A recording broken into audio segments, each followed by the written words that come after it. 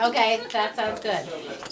Mikvah is my favorite thing to talk about, so while we're, but, but then we're gonna talk about Pesach, yeah. Hi, Tonight was, I it's being recorded, yeah, assume tonight was canceled because of lack of respondents, why, did somebody just show up? Who, the post. What they said. they didn't RSVP. Well, I just wanted to find out why, okay. Mm-hmm. Had to cancel the program tonight because nobody RSVP'd, and as soon as I canceled it, like four people were like, well, we were coming, and I'm like, but you didn't how even tell me? Justin was gonna stay for that. Oh, he yeah, oh, that's But he didn't RSVP. Oh, that's right. So- that's fine, not on my reading. Today is March thirteenth, that's two okay. Okay, uh, so the mikvah is the waters of the womb. It's the same waters that we were all born in. You know, you remember how there's evaporation, condensation, precipitation, that whole triangle you learned about a million years ago. Um, so that's all water is the same. Um, and so the waters that we immerse in for any kind of change in our lives, converting, becoming a bride, uh, monthly immersion, becoming a grandmother, whatever the reason is you go to the mikveh, um, we we go into these waters as if we were. It, it's really a rebirth, and so yes, nail polish is off, jewelry's off, makeup is off, um, uh, all belly rings and any kind of rings, clothing stripped all the way down. But it is the most modest place you can be. If you've ever had a massage and the woman says to you, or the man says to you, you know, um, um, you, they're halfway done, right? They've done your whole back and they lift up the thing, right? You're my person that I'm mas- massaging, and they lift up the cur- the the sheet and they say, okay, roll over. And they're holding it way up here like this, right? Nod that you sort of know what I'm talking about. Okay, um, that's what it's like. So I'm standing behind you. Do you mind being my uh, Yeah. model? Come stand up. Can you take off your, your Yep. okay. So here's what we're gonna do. I'll leave that. All right, so we're gonna pretend. about the water? Yes, that Kelly's wrapped herself in a sheet. So turn around, get back to me. So she comes out like this, okay? And I'm behind her, and none of you are there. And then I go like this. Sorry, hair. Whoops. Okay. I go like this. Okay, walk down into the mikveh. She walks all the way down, and by the time she, and then I'll say to her, "Let me know when you're all the way down." Although I also hear her splash, and I know. And then I'm looking only from above. Thank you very much. Yep. Um, oh, and by the way, when she's done and she comes back up, I again hold it all the way up in front of me. I'm not looking. Um, there are two other rabbis with me, and they are men generally because that's all we have here, and they're on the other side of a door. Um, and if you're a guy, then you have a man watching you. Um, if the other two rabbis happen to be men, then you might have all three men in there. But it's always, um, you know, it's as modest as it can be, um, and there, you know, there's no looking. So, um, but yes. Any other mikvah questions? Okay. Ooh, before we forget, pass this all to Sue, please. pass all to Sue. Okay. they're doing winner. this weekend. I know. so we're talking about Passover. Um, and I'm also going to distribute, but I think this is to read for next time because for next Yes. time I wrote selections from Haggadah and Rabbinical Assembly Pesach Guide to be distributed. So I am distributing to read. It's very brief. It has a lot of information.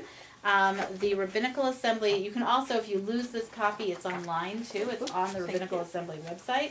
Um, this has everything you need to know about what you can do for Pesach. Now, Pesach's a really confusing holiday. Um, and I think for the most part, I want to talk today a little bit about it, sort of more in the theoretical, and then next time a little more in the practical. Now, I'm seeing, were there books in here? Ah, blue books and, okay, good. No, orange books. Good, good, good. Just wanted to make sure the books got to the right. Excellent, thank you. Oh, Thank you. So, first of all, any questions? Questions from last time, questions from readings? Everything makes sense? Yeah, Jane? Okay. Okay. So the conservative movement in their quarterly oh, magazine. Oh, no, you're gonna start with this one? Yes. Oh, did you read the article that I was quoted in? If you're gonna read the magazine, did you get to page forty-five? I saw your picture in it. I saw you. Did you I read it didn't too? read No, the article. I'm You didn't read my article? You I just saw the picture of me? Oh. I, I saw the all picture. I about pointed Beth it and out Rabbi Oh, I Garber, know. and like she's quoted a million times. It's pretty cool. You know how I was talking about the Passover food, Yes. kitniyot. Right. And how come the magazine is essentially saying, go for it, you can have your rice, you can have your beans, you can have your lentils. So the book says, not so much. Right. Well, The- the- the actually, book uh, the says, book says, uh, it says Ashkenazis, some, some schools, some- well, some schools are starting to do go and that some way. aren't. Yes. Right. It's the fun- Sephardic. Sephardic always does. Sue but- is married to a Sephardic Jew, so she Yeah, doesn't Sephardic count. I was When like, we're our in children Israel- are going to be Sephardic, right? We're in Israel and we stay with our Sephardic cousins that we stay with every single time we go. We're like, yay, we're Sephardic this Pesach. So why is it different though between the, the two? Uh-huh. So, um, I actually will admit that I only read the article about myself in that magazine. I did not read this article, even though everyone's talking about this article and not the article that I'm quoted in, but that's okay. Not insulted. Um, but I just, I, I got so excited that I was in the magazine. I put it in my, you know, to file good things pile and, and forgot about reading the rest of the magazine. I admit it. Um, so, I believe that it is a misunderstood article personally I believe this, and I asked Rabbi Rosen his opinion, and on the one hand he was like, well, yeah, give me oat, maybe, and I know other rabbis in town are sort of coming out very um, openly and saying, yeah, sure, go for it. Um, I don't believe that, that that's what Rabbi Golinkin meant. And it sounds like what he meant was more that um, if you're in a country, if you're Ashkenazic, right, you're from these Eastern European countries, and you're in a country of Sephardic Jews, namely Israel, then like go for it. Because by the way, it's very hard to not eat To not kidney eat. when you're in Israel. Very hard. Mhm. Um, everything, everything, and, and so how can you survive? Um, that's what it sounds more like he was trying to say. But it was published in this magazine that is mainly of the North American movement, and everyone is taking it to mean that they can eat kitniyot. There will not be kitniyot in my house. Um, we won't even eat green beans. Although when we read that, I read that in here, I was I was like, like- wait. And I was like, But isn't the whole thing like from what I understood in the book was that you can make flour that it's this possibility of making flour and the possibility of leavening that mm-hmm. is the concern. So like a green bean, their point was the reality that you could make a green bean into a flour is so far re- Right. removed at that point Right. that they're okay. Right. Whereas rice, clearly there's rice flour out there. I mean, Right. You know, there's Right. certain things that you can. Absolutely, absolutely. Okay. Um, Because like even kidney bean flour, I've never heard of. You know, and like, so with Pesach, you know, I, I really think there's the letter of the law and the spirit of the law comes into play here a lot. Um, and so you can you can totally argue that in green beans that can be your excuse your or your reasoning. It's not even an excuse, and that can be totally fine for you. For me, it feels wrong, um, and and that's why, by the way, whenever anyone asks me anything about kashrut on Pesach, I do not answer off the top. I always go and check everything because I never feel like I know the answer. You say to me canola oil right now or or olive oil, and I'm like, oh, oh nah. you know. And so even when we did our shopping this week before we we went, I, Adam and I were looking at this list, literally looking at the list that's here. And you know, if you just take a quick look, you'll see it. It's on page. Um, Permitted food. So it's on the top of page eight. Okay. No, so products which may be purchased without a Pesach hechsher before or during Pesach. Olive oil, extra virgin only. Okay, that to me was like, that was news. Um, and maybe it's because I forgot from last year, I don't know. But I know that in the past I've always bought all of the ridiculously expensive, teeny tiny bottles, you know, where I need like two splashes of olive oil. And I've bought, you know, Haolam mm-hmm. olive oil or whatever it's mm-hmm. called. And, and I'm like, you know, this is the most expensive olive oil I've ever owned. Oh my goodness, I said to Adam, just buy a new bottle of the stuff we always get. Mm-hmm. wow. Yeah. But but I wouldn't have remembered that if I hadn't looked at this. So it's really complicated, and I'm a rabbi telling you that. Um, and we'll look more at this list next time. I didn't mean to like you know get a, unless you have questions right now that I can try to But answer. just a, yeah. hopefully this is a quick question. If it's not, we can just move it to next week. but I got this sense, and I just want to know if I read it wrong, because maybe I should read it again, that a lot of these do or don't, especially with the, um, you know, with the or without the the for Passover. I got the sense that it was because some of these things normal like on occasion have additives mm-hmm. that Yeah. are considered potentially a leavening product. But but in reality, if you found pure right, you know, like oh that says without. But so if there's things that you know, like if it's extra, it's saying extra virgin only. But Right. you've got olive oil, and all it says is olives are the ingredient. Right. Wouldn't the conclusion be that you know what's in it? Probably not. Oh, Yeah, okay. because I think what they were saying is sometimes there's things in, like in preservatives and stuff Right. that you don't they don't have to declare Right. in the Right. lovely Right. USDA of this. Right. And even so, the quinoa Hidden debate things. is a really big debate, right? Um, I don't know enough about what quinoa really They're is, seeds. Seed. right? So, but the issue really is where it grows. That it grows next to barley, and so could some barley get into it? Now they are like selling actual kosher for Pesach quinoa. So the idea is that it's totally available and totally something that all of us Ashkenazi Jews can eat. For for the past couple years, that quinoa has been the popular thing to talk about. I've been really opposed to it. Um, and really opposed, like on a soapbox about it. So I'll just share my soapbox. But then this morning, actually, somebody told me something different. But my soapbox has always been that quinoa grows in countries in South America where this was their staple product until us, you know, a Whole Foods North American people decided that this was the cool thing to eat. You know, quinoa was the new black or whatever. Like it was the cool thing to do. And so it's so expensive for that they can't afford to eat it anymore in the South American countries. And so I was literally calling quinoa the bread of affliction, taking words right out of the Haggadah. This is the bread of our, the affliction that our, our forefathers ate in Egypt. How dare we eat this food at our Seder, where we're talking about freedom and we're worried about poverty for others? How the, the, the you know, it might be kosher, but ethically, right? And you have to think about the bigger things. Ethically, it's not kosher.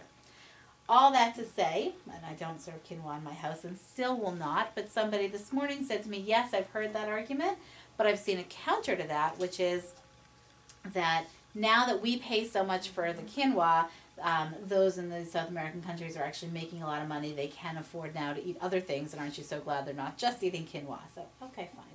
um, I still don't know that it belongs on the Seder table because I'm, I'm just not about cheating and getting around it. it. For me, it doesn't feel right. Um, that was a long way to answer that question, but yeah, it's complicated. This Pesach stuff is complicated. There's just no way around that. Other questions, dare I ask? I know, it ain't easy. Um, I guess my, my question is now, why is it okay for like um, Sephardic to eat rice and not for the Ashkenazi? Oof. I, I think the, Did the, talk about that? I'm I trying think to that remember. the, the book said because it's their like dietary staple, every single Ah, thing they yeah. make okay. has. Was just historically And part I of thought they original. also said, correct me if I'm wrong, that everybody had eaten it and that they then expelled those things because they realized flour or things could be made from it. That it was something that technically was open for, and then at some point in time, they, Ashkenazi decided to remove it or Mm. something. I don't know. Yeah, to go to to a look higher level up. and Mm. say, We do like to go to those higher levels and be more machmir, more strict, more Mhm. stringent about Okay. things. Yes. mhm. So let's just take a step back on Pesach for a second. Why do we? What is Pesach? the Exodus. Okay, so historical we started with, right? This exodus from Egypt. Um, big moment, finally getting to leave Egypt. What else is it?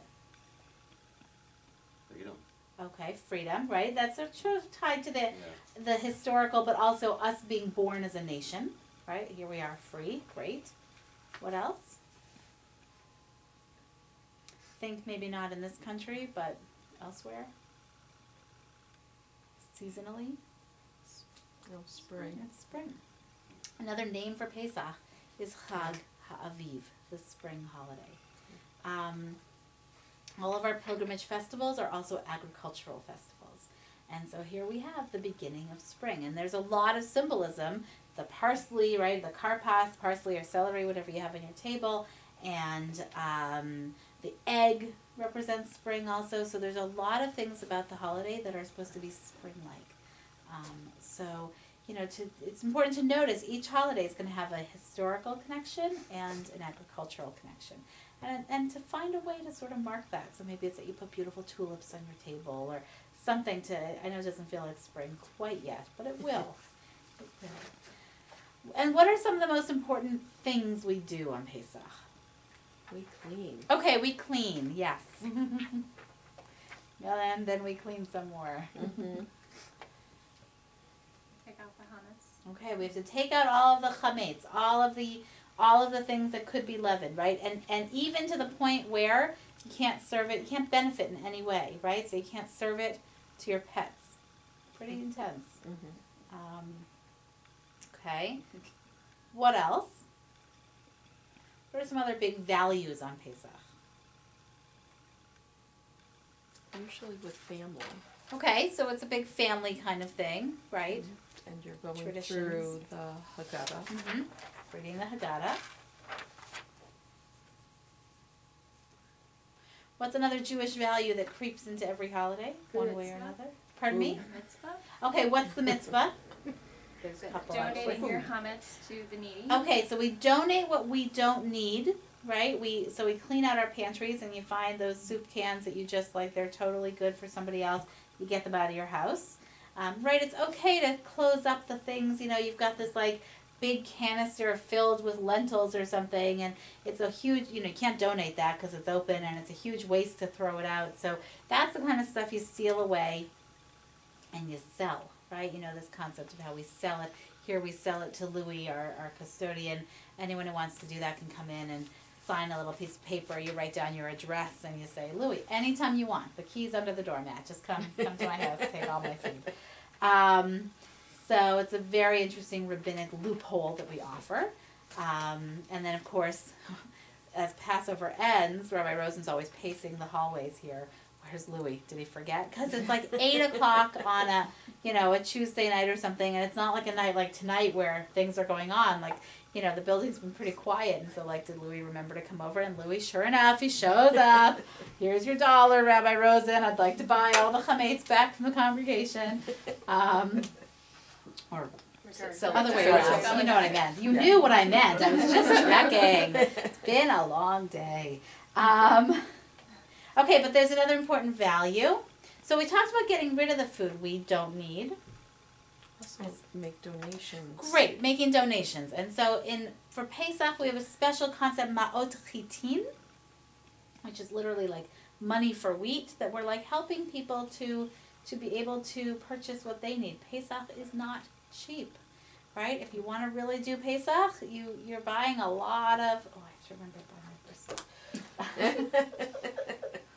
Seriously, I'm writing down brisket. You're buying Woo.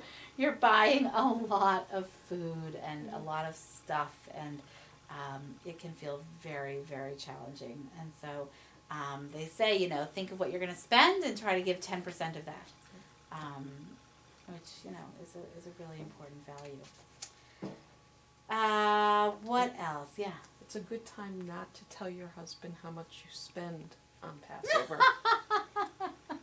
I Yeah. never do. you never do I never do. No. I start off every holiday trying to keep track. I keep those long receipts in my Yeah. purse, and I think you know because every like huge, and then it's like, could you run and get lemons? Oh my goodness, I forgot this. Oh, go to the store and get this. Oh, I have to write one other thing down. Sorry, I just remembered I need the yahrzeit candle. Um, the mind during Pesach is a dangerous thing. It's like you are so intent, like ten different places right now. Wow, at least I am. I don't know. So, ooh, focus. Um, because on Pesach, by the way, is one of the many times during the year that we say that we have Yizkor, the end, the last day of Pesach, where we remember those uh, loved relatives who have died. Um, and so we do that on Pesach. We do it on Shavuot. We do it at the end of Sukkot on Shmini Atzeret, and we do it on Yom Kippur. Um, and then the fifth time, obviously, is the actual yahrzeit of the person's death, the day that they died. Um, and so I just made a note because I remembered, oh, I need to get a candle because you light a candle if you've lost anyone. So I need to remember to do that. Um, so I wanted to go back to chametz for a second because we're all over the place here. How do we get rid of the chametz? What's that little um, evening ritual? Dusting. There we go. Everyone's dusting. Okay. Yes. So so you can buy the kit. Um, it's a nice feather, a candle, a wooden spoon, and um, you know in the envelope it comes in basically. And it's a little ritual. Now what if you've got the most clean house in the world and you never eat anywhere other than your kitchen? And so i know the best place to look is in front of the tv i know i know. I'm with you under the couch. Um, but let's pretend we're not those people and we only eat in the kitchen. And so everything is totally spotless and your kitchen is top to bottom totally spotless. I promise you i swear to you there is no chametz now what Put some in. you still do it. How? Put some in. Okay, great. Where? What is that? Yeah. In other words, Obvious. all over the house, right? So you take it, you put it in a little tin foil or something, or a little plastic bag, whatever you want, and you actually place it. I, as a kid, I thought this was like just my parents being silly parents, but it's like really what people do, right? You do like a little treasure hunt. Um, so much fun. It's so much fun, right? So you have little kids, you do a little treasure hunt, and you can like teach them hot and cold. It's a great time to do that kind of thing. Um, but yeah, you put, you know, uh, I think it's five or ten. I forget what they say you're supposed to do. If you There's know, no significant number. there's no significant number. Are you telling me? I don't remember. Um, I usually do one in each room. Um, so if you're lucky enough, do twenty. Um, but you know, What's one- in the bag? A, a little piece of bread. Crumbs or cracker or whatever, whatever's illegal. Whatever you, whatever you still have at that You point. take your thing Okay. of breadcrumbs and like dump it into fourteen different Ziplocs Very and put it carefully. all around, Put them all around the house, and you have to remember where you've put them. Somebody has to be the master of the chametz. Um, and you go around and you collect them. And when you get there, you know, pretend this is my my feather, my wooden spoon. And you sort of like you do this whole little thing because you don't want to be, you know, using everything else that's already clean. So you can use the candles. You can really see. It's a very silly ritual, but the bigger point is that we are really trying with our best effort to make sure that we have gotten rid of all of the chametz. And at the end, we say this this this little paragraph where we basically say, "Look, I tried my best." anything I didn't get at this point is null and void. It is like the dust of the earth. And I think that's a beautiful mm-hmm. paragraph. I've actually quoted that for people. I have a friend trying to finish her dissertation and she keeps, you know, writing on Facebook every morning. She's up like way before her kids and she's so stressed and she's so committed and, and I keep saying to her, you know, good enough is also very good. Um, and at some point you just have to say like I have I have corrected everything I can correct like I'm not going to be perfect here and that's okay um, she's trying her hardest, and you certainly try your hardest. You don't say, eh, whatever, I'm not cleaning my toaster. You know, obviously you're cleaning your toaster. And by the way, you don't just clean it. Are you using your toaster the week of Just Pesach? No, the toaster goes away. Like all those things have to disappear completely. Um, and and if you're really smart like me, I finally learned after all these years, you hire people to help you. Uh, my mother used to always complain, "This isn't freedom. I feel like a slave." And so I finally realized that what you do is you get some. I'm actually getting kids to help me community service hours. Um, I know, don't even have to pay them. and uh, yeah, we're starting on Sunday, emptying my cabinets, and oh, I'm very excited. So um, yeah, yeah. Uh, let's see. Okay. Uh, actually, in your reading, you're going to read about this, so we'll talk about it next time. But um, how to kosher items um, versus purchasing It was them. in- is- that was in- oh, it it's in there too. Oh, okay. It was in. Okay, good. So then we will talk about it. What did you learn? A of boiling water. Right. Mm. Here's here's the principle. You and this is not just Passover. This is everything. You kosher something as you use it. No, you kosher something in the same manner in which you use it. Okay. So a pot that boils water is koshered in a pot of boiling water, right? An oven that heats obviously is koshered by heating it. Um, a metal you know tongs that is used to put over you know that you would put ta put in the hot whatever you put over hot um, so whatever it is you know your barbecue not that you're really i don't know be We bar- interesting you we barbecue barbecue. on pesach Yeah, we do. interesting i've never We thought do. of We don't use doing a grill. that why not Cause the, the We- grill, there's no way to get the grill mm. clean unless you change out the whole grill. Fire it Yeah, up to you, over No, you you have do. a different You grate. that. I'm pretty have a sure different mine would grace? disintegrate and fall to pieces. But But couldn't you do it the same way you're doing your oven? Because it's basically an that's oven. what i would think Yeah, i've never thought to use a barbecue on pesach but huh it's you also change out the grate. I would I suppose. know. It's Sometimes, not always. Right, So not you, always. you have special Pesach Everything. grates. We have everything. We have um, different mixers, we have different uh, food Electric processors, we have different meat dishes, dairy dishes. I have a whole set of parve dishes and parve baking things. Yeah. Oh, it's just a pleasure. A coffee pot. Yeah. I have my fish dishes that are only to serve Oh, fish at the. Seder. Glassware, Mm-hmm. Shredding things, blending things. Oh yeah, okay. Sounds like fun. So like, so if you if you're like if you have like one good set of knives, you have to just boil them or something, or what do you would you do to get them? I would buy new knives. Just get another set of knives. Um, I suppose I think it does talk about It does. utensils that It you can do, does. and if you can take the like if you can take the handle out. I think is what it talks about, Right, right? right, putting it, because you want to subject it to really, really high heat, you don't want the handle to melt. Well, and I'm thinking like if you had like steak knives where you don't want the like you can't get the wood, uh, you can't get stuff out from in between the metal and the wood. They were all one-piece metal knives. Well, it's all Probably. metal, you can It- boil it. yeah, Yeah, or so probably you you couldn't can have- hook it okay. up. Yeah. Yeah. Um, it's complicated. I've said that now twice. Here's the- Um, Pesach is complicated. It doesn't have to be so. Yep. Right, and so true. so sometimes you know you have to weigh what's easier. Is it easier to kosher things or is it easier to just to have an extra set? Obviously, it's a financial burden to have an extra set, but I do recommend for this Christmas tree shops because everything is super cheap or home goods. Um, you know, oh, home goods. Has everybody been there yet? It's so fun. Oh, the oh my one, goodness. Simsbury. Right here. Oh. Right here. Oh, Uh, where the where new one Borders used to be, uh, by the movie theater in Avon, Oh. Just opened last week. Oh, I've been there. Is it across from the Hartford Medical Group? A little bit No. further. No, No, further it's- down. The By Simsbury. Chili's. Simsbury, like the Bushy Quads Hill, by the mall, but by the Uh, so by there's where Bed almost Bath and Beyond is. there is a wall. Almost Way so off much. to where the, There's a the Walgreens. Honda dealership is, and Okay. McDonald's right on before corner. that, right. Yeah, there's a Okay. Walgreens, there's a. McDonald's, there's Okay. a Stop and Shop right there. Okay. Yeah. Yeah, I shop there often. Yeah. You tell. I have a question. Yeah.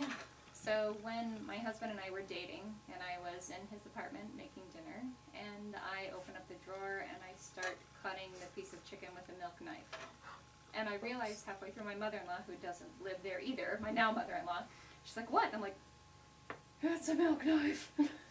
I'm like, "Ree, ree, ree," and she's like, "That's okay, that's okay," and she took it from me, and my husband now at the time we were dating had this huge plant, um, and she took it, like crammed the it in the dirt. Yeah. She goes, Yep. leave it there for a month, you're all good. I'm like, a month? Okay. That knife sat in the dirt for, for Did a rust? month, clashing itself in the dirt. And that's something that to this day, if anybody in my house accidentally takes something out of a drawer, I say, I'm like, that's okay. Don't worry about it. And I take it and I go stick it in my plant.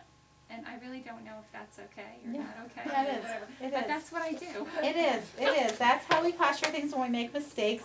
I bet you're gonna find all the specifics here because again, probably the reason I don't have answers off the top of my head is because I don't do any of the cooking or anything in our house. So you know, I, um, but we have kashrut coming up down the road, right? Oh, we do. We do at the end. So we will look at that. Um, details by details by details and it talks about flatware and i bet it's going to talk about errors in the kosher kitchen right there so you can check it out ahead of time or yes but um yes indeed But you can't take all of your silverware and put it in the dirt a month ahead before Passover and pull it out and wash it and use it for Pesach. I would But guess. it is saying you can boil it, so there are other options. Right. I guess it's not a at least- mistake. So it's not a mistake. Right. So that's probably where the where it falls into Yes. that. What I did It- yeah go ahead. What I did like is that if you had a set of dishes that had not been used in Over a More than one yeah, year, yeah more right. than a year, then yes you're you're just good to go. Yes. Yep. And I like that. Yes, that is true. Yeah, the statute of limitations. That's true also with you know if you. Um, I remember being taken into my grandmother's closet when I was like five or six years old. She climbed up on a ladder and she showed me the china that she had been given, I think for her wedding or inherited from somebody, and had never maybe had used or somebody had used, but had been sitting there for years and years and years. And I knew when I finally inherited it, it was just fine. Um, and that is really crazy but cool. Um, so yes, yes. Um, yeah. You know, so in Israel, it's very cool. On I, I, I the year I lived in Israel, um, I was on a kibbutz, and so I really got to see like Jewish living. Um, but even when you're walking around the streets of Tel Aviv or Jerusalem, I believe you can see this also the weeks, the days before Pesach. There's like a huge garbage can basically of boiling water and a guy who's in charge, and you can just come and you can just dip your stuff in and kosher it. Because in a very different economic society, people just did not and do not own two of everything. Or if you're keeping really kosher, right, milk and meat and milk and meat. Um, in my house, we also have milk and meat for Sukkot because I don't like to bring my good dishes outside, so we have plastic uh, frisbee-like dishes, um, which are quite amusing. But you know, so like, and then I have my china. Um, so I guess I have seven sets of dishes in my house. Um, it's kind of crazy if you think about it. Um, most people don't do that. It's- Where do you keep it all? I was gonna say, especially in Israel, their places are Right. their homes are usually so right. Small. I keep it in my basement. Cause I'm like, 'cause They usually have my like house is two. filled with- with child stuff. Right. Right. I keep it in my basement, and you know, thank God we have a Passover big meat and basement. milk dishes hmm? and the meat and milk pots and pans and the meat and milk mixer and the meat and milk Yeah. everything else are all in the basement. Yeah. Yeah. Boxed up and labeled. And they Yeah. go back in the same boxes that they do every year afterwards. Right. Ours, yeah, ours are in Rubbermaid bins. Yes, Rubbermaid bins. And they're all labeled. Yeah. Yep. We redid our kitchen. I, you know, I'm telling the guy, I'm like, um, you don't understand. We keep kosher. He's like, okay, I get it. You're Jewish. I'm like, no, no, no, no, no. Right. Right. Um, yeah. So, okay. I want to switch gears a little bit because I don't want Pesach to only be this really stressful holiday. It's this holiday where we're really experiencing our freedom. So, how would you say we celebrate our freedom? Well, the one is that you're resting Okay, with we a lean. pillow Yep. to the side. Is that it? Well, you get together with your family and have a dinner. Yeah. Drinking wine. Drinking the wine. There you go. Now we're coming up with the ideas, right?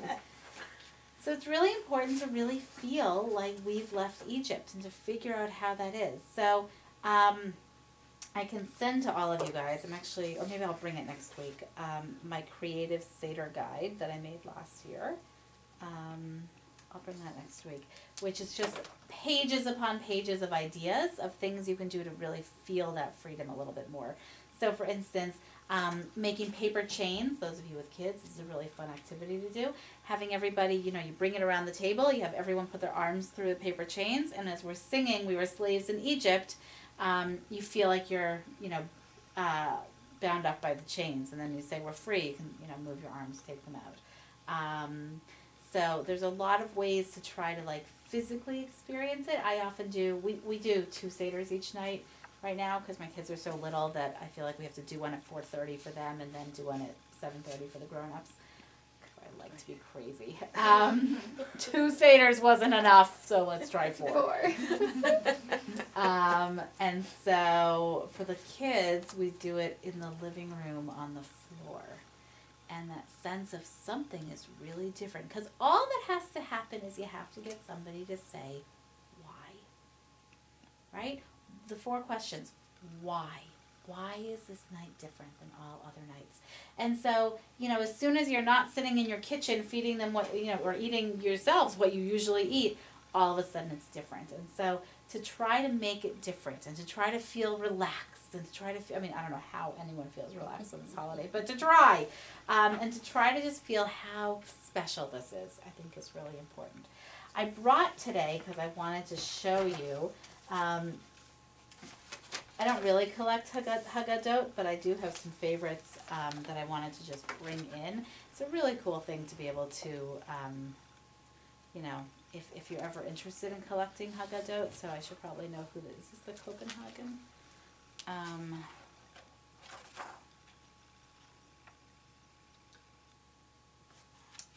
which Haggadah this is?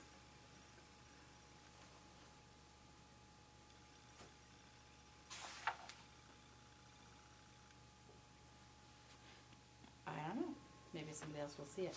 Um, in any case, so this is just a beautiful Haggadah, blah blah blah, that I brought in that I have no idea now where it came from. Bless Bless you. Um, so I'll pass these around in a second. Oh, this I think is the Copenhagen. Um, I mean, you know, people who just take the.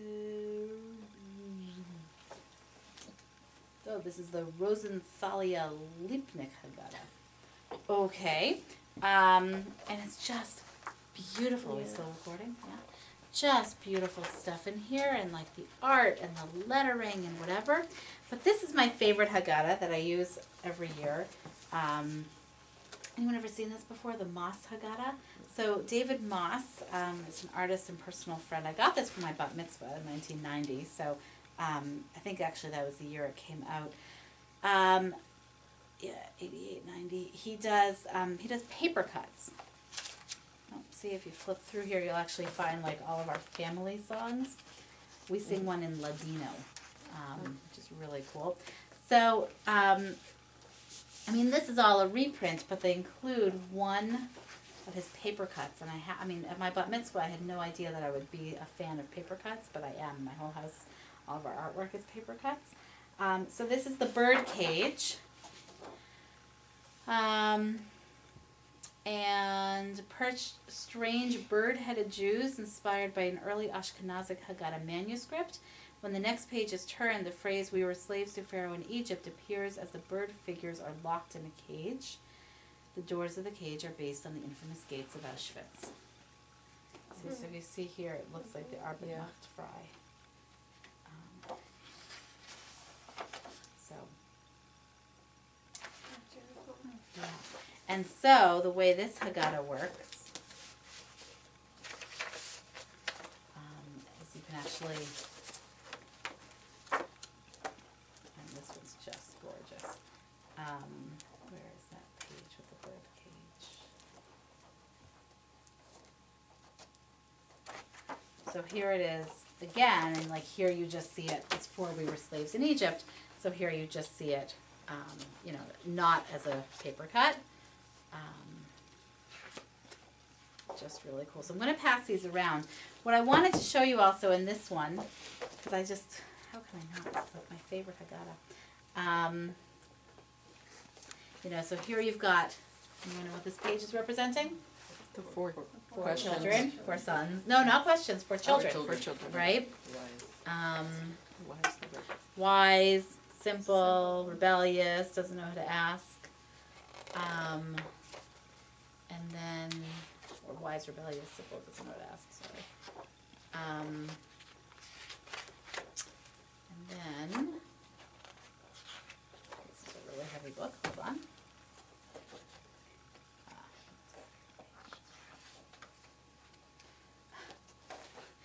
I just love this lamb here. Um, so my favorite thing about Pesach and, you know, is this part here that I was mentioning before. In every generation, we are obligated to see ourselves as if we left Egypt. And what do you see here? Mirrors. How cool is that? If you can't afford a Moss Haggadah, what you can afford to do is take all the mirrors you have in your house, like the little hand mirrors or the ones out of your purse. Take it out of your purse. Stick it on your table. Turn it upside down on your table. And when you get to this part, tell everyone to reach into the middle of the table, not their cell phones, their mirrors. Pick up the mirror and look at themselves. Or better yet, point it at somebody else and say, You left Egypt. This is your story too. I just think that's so cool. And then and then here we are B'tzeit Yisrael mi Mitzrayim, when the children of Israel left Egypt, and I don't know if you can see this all the way down there, but it's it's people just leaving Egypt. Um, so to experience Pesach, you know, in a way where, um, you know, the art sort of makes it make sense. So here, I'll pass this around and and pass this one around too. I mean, you're welcome to look at all of them, but just just to sort of get a picture of, um, you know, some of the beauty that's out there. It can really make a difference. Last year I bought, or two years ago now, there was a new Haggadah that came out. That's the other cool thing to do is to look. Who was it? It was um, David. David Englander, is that his name? And Jonathan Safran Foer wrote the. It was called the New American Haggadah. Um, did you I see that? that. So I bought one for my husband, um, and that was a really cool. Uh, you know, to look at Pesach in sort of in today and um, in American culture. So it's a really cool thing. I, I also next week um, we're actually going to look at the Haggadah in a little more detail, but in case you're looking to buy one, there are tons. Um, you know, we use a pretty traditional one in my family. Um, this one you guys use. Um, you know, there's also a different night, which is sort of um, a much more modern one. And if you're looking to sort of do it yourself, um, if you go to a website called JewishBoston.org, they have it's sort of the um, we'll have a Jewish Hartford or what my Jewish Hartford we're calling it down the road. Yeah, there is, a- the current, the current federation website is Jewish Jewish Hartford, but- Now we're gonna have my We're gonna have my myjewishhartford.org, but this is jewishboston.org, and it's a project out of their federation, and it's an amazing website. And they put out basically a downloadable, customizable Haggadah. So when we do our early Seder with our children, we just use that. Um, and it's like 22 pages, uh, you know, very simple, no art, just the quick, easiest parts of the blessings, easy translations. It is like Seder light, light, light. Um, but if that's what you need, it's a great thing to find. So jewishboston.org, and you will find that. So I saw one online, um, Haggadah, someone obviously had toddlers, said like the thirty minute Haggadah or something, and it was, a- it's, I big, had a couple little pages and it was very, she's like, it's very, the reviews are like, this is very quick, if you have little itty bitty children, get this Haggadah. Because, because it's very short, sweet, it, like you said, it has, Gets to the point, Gets- and, and that's it. has the simplest prayers and Yeah. gets it done if you have to get it done with little ones. Right. So I did want to show you two other um, things this time. Um, so yeah, I'm going to do that. Hold on just a second.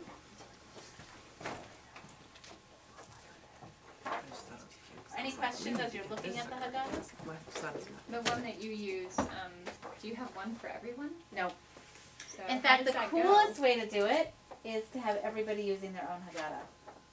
To have everybody, Oh, ones. right? Yeah, everybody because on their shows the own, different- and and but look, that's it in a works family where you're not one of reading them English. is French, and another one is all Hebrew, Right. and another one has bits of English. Right. It doesn't work when everybody, uh, you know, if, if you need, if you need English or We did that something. last right. year. But it can be really fun. Um, you know, it can be a fun experience. So, Cigar. so I passed out these orange books just because. Um, it must have been in the readings that it mentioned Shir Hashirim, the Song of Songs, right? And it occurred to me that it was it was um, it could be an in one ear out the other if I didn't just point it out to you. So these orange books are the five Megillot, the five scrolls, plus the book of Jonah. Um, and they're read on various holidays, and Shir Hashirim, the Song of Songs, is read on uh, Pesach. Wait, what? Sorry, can what's the five scrolls? These are the five scrolls, five Megillot, like the Megillah of Esther that we read on Purim, um, Ecclesiastes, Kohelet that we read on Sukkot, um, Echa, Lamentations that we read on Tisha B'Av, and uh, which one did I just forget? Ruth that we read on Shavuot. Um, and then Shir HaShirim, the Song of Songs that we read on Pesach. So, what is Shir HaShirim all about? What would you think it should be about? If you've never looked at this text, what would you think it should be about? What scroll would we read on Pesach? Okay, it should be about Exodus. Absolutely. Freedom, right? What else? What did Exodus and freedom lead to? What happened next historically? Walking around for forty years. Walking around for 40 years. Tiny bit before that, what happens? All the, the splitting. Tiny bit after that, what happens?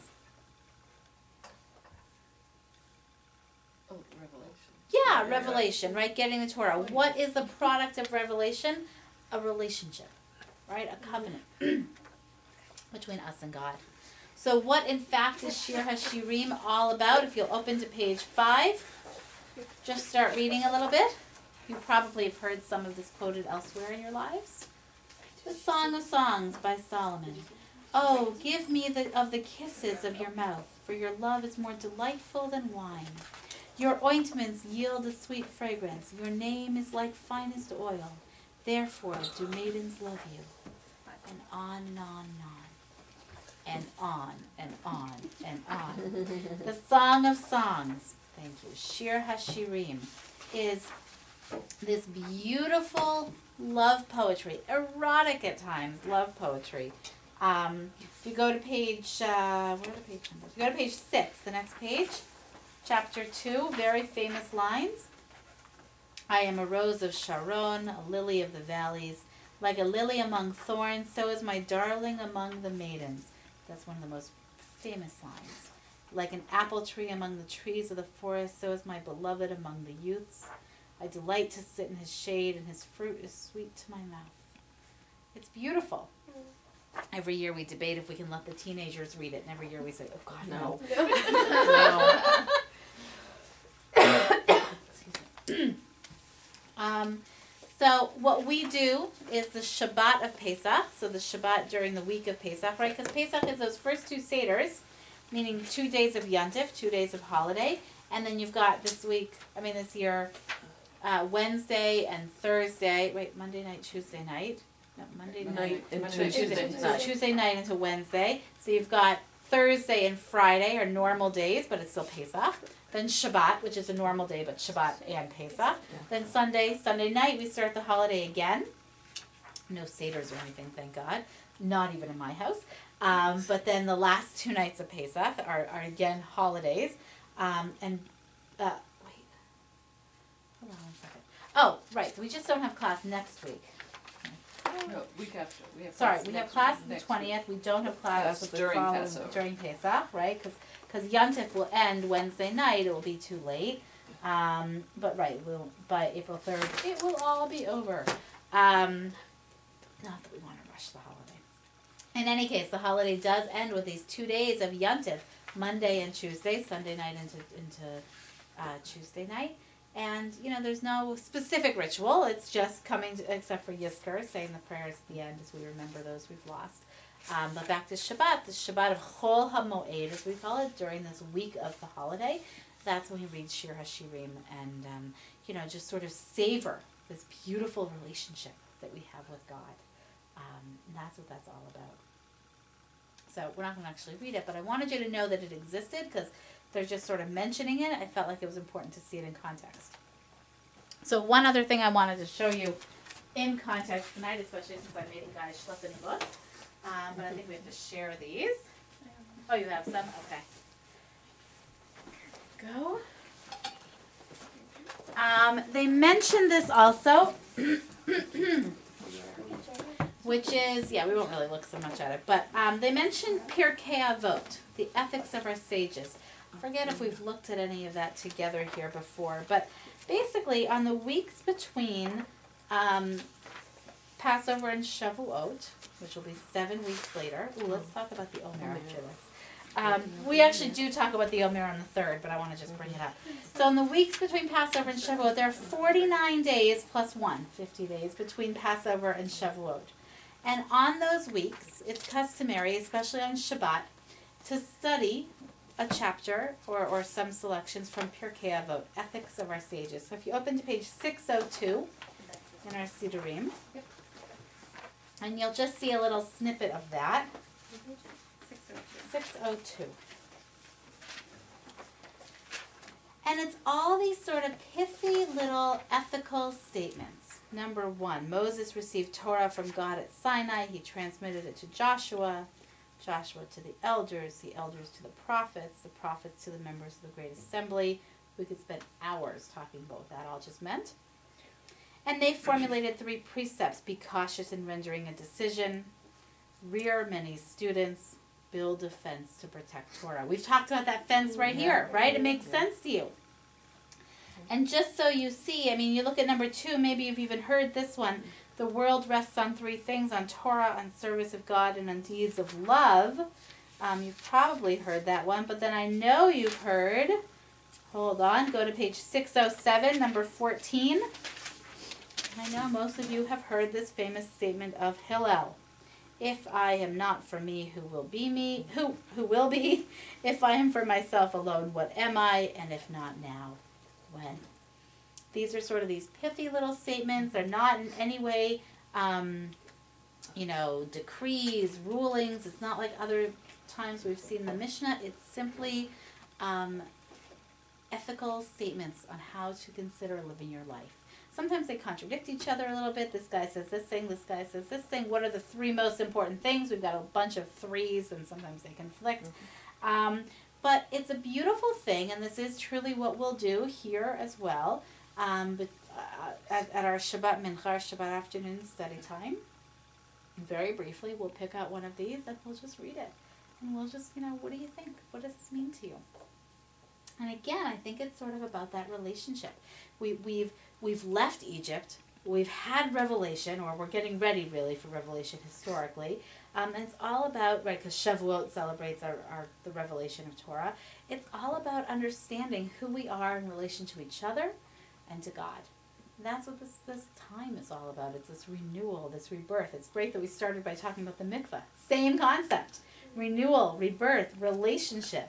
Um, feeling those kinds of connections. So Shir Hashirim, the Song of Songs, this deep, passionate love, and then these kinds of statements, which are sort of how we live our lives. How do I be? How do I move? How do I how do I relate to other people? Um, and it's all, of course, under the general framework of of study and of learning and of engaging with these beautiful texts. Um, so, there we go. Questions? Just wanted you to know these things exist. So next time, if you have a Haggadah at home that you want to bring in and we can look at them together, I'll have mine here. Um, and I was sort of thinking that we would walk a little bit through the Seder um, and just, you know, share ideas, get ideas, feel a little bit more like um, I'm not bringing in any food. Don't get excited. Um, but, you know, just to sort of talk through what the process of going through the Seder is all about. So feel free to bring in any of those kinds of things and to read the Pesach guide so we can try to answer any questions. Sound good? Oh, All right. good. Have a Just as a quick correction, it just says, a little bit typical. Traditionally, Ashkenazi do this, which is not to consume those items. Then it says Sephardic tradition never imposed those additional prohibit. Prohibitions. Thanks. Um, but then it does say, some have suggested that eating of rice, corn, beans, millet, soy, and legumes, um, that for the sake of Jewish unity, all Jews should adopt the Sephardic tradition. But this has not yet become the standard practice, and readers should consult their rabbis for further guidance. Well, you Back heard, where we you started. heard what I have Yeah. to Yeah. say. Approval first. Ra- like wrapping up answer to any question. Oh, book. consult your rabbi? consult Sure, us. sure, sure. They don't want that obligation. Yeah.